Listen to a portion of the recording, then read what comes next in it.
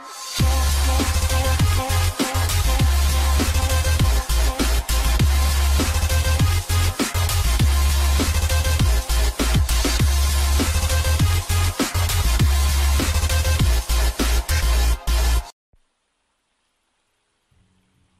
Salut tout le monde, c'est Lady, j'espère que vous allez bien. Aujourd'hui une petite vidéo tuto dans laquelle je vais vous montrer très rapidement la meilleure technique pour améliorer le plus vite possible vos armes et armures.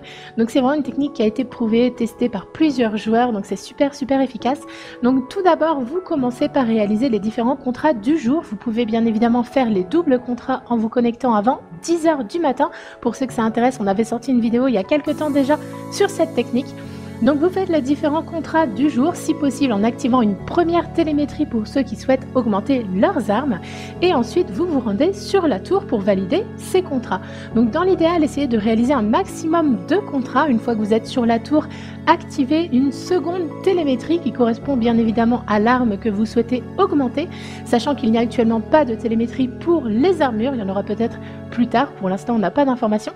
Et donc il faut savoir au passage une petite astuce, c'est que si vous souhaitez améliorer une arme en priorité le plus rapidement possible, veillez à bien mettre le reste de votre staff totalement amélioré, sinon les points d'XP vont se diviser entre les plusieurs armes et armures qui restent encore à Donc une fois que vous avez mis votre télémétrie, vous allez tout simplement vous rendre auprès des différentes factions, auprès des différents contrats ou personnes qui vous proposent des contrats. Donc actuellement, je suis en train de le faire avec Eris et Xander.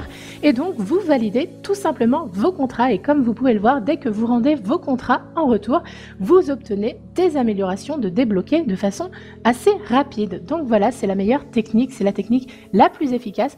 Vous pouvez bien évidemment associer cette technique avec le fait de jouer régulièrement avec l'arme ou l'armure que vous souhaitez augmenter et bien évidemment avec le fait d'utiliser le plus souvent possible les télémétries.